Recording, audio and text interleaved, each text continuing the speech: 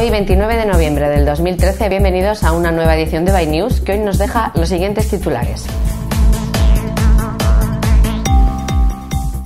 Ecotrimat 2014 ya está en marcha. El Team Caja Rural RGA opta al Giro de Italia 2014. El casco Dharma el tope gama de Spiuk. María Legestan intentará llegar al Polo Sur ciclando. Y el Friki de la semana.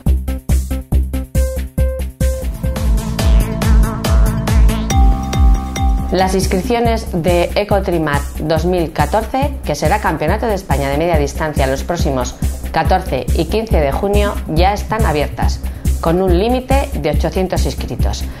En esta próxima edición encontraremos nuevos recorridos, además la organización ofrece descuentos para clubs y mantiene el triatlón sprint como primera prueba del circuito del agua de triatlón que tendrá un límite de 600 plazas. El equipo español Caja Rural figura en la lista de los ocho equipos que aspiran a las invitaciones para el Giro de Italia 2014, según ha anunciado la Corsa Rosa. Junto al conjunto navarro figuran el Colombia y el Bardini CSF, que ya estuvieron en la pasada edición.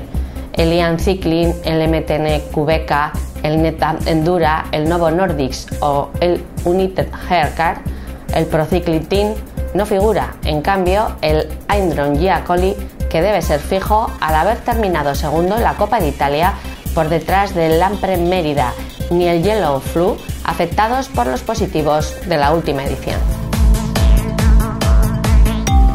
Dharma es el nombre del nuevo tope de gama de Spiuk. Este novedoso casco llega al mercado con la clara idea de convertirse en el modelo de referencia de la marca y uno de los más destacados dentro del mercado ciclista. Spiuk ha invertido dos años de minucioso desarrollo para mejorar en el Dharma cada uno de los aspectos esenciales que a un casco de competición del más alto rango. La seguridad, el confort, la ventilación y la ligereza como ejes esenciales de un producto con formas aerodinámicas y agresivas que sirven para afianzar en él la personalidad y las señas de identidad de Spiuk. Nuestro Juan Menéndez Granados no es el único que va a tratar de llegar al Polo Sur pedaleando. La británica María Lichtenstein también busca conquistar la Antártida. En su caso, no lo hará sobre dos ruedas, sino que usará un triciclo especialmente preparado para el desafío que quiere comenzar el 8 de diciembre y espera finalizar sobre el 7 de enero, y que cuenta con un recorrido de unos 800 kilómetros.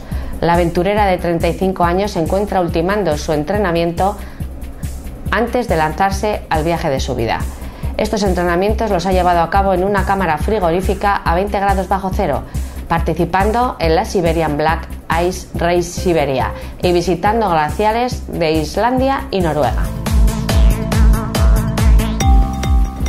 El Friki de la semana nos enseña una buena manera de seguir practicando el deporte de la bici sin pasar ni pizca de frío. Y si no somos capaces de salvar el hábitat del oso polar, con estos fríos nos lo podemos traer para aquí.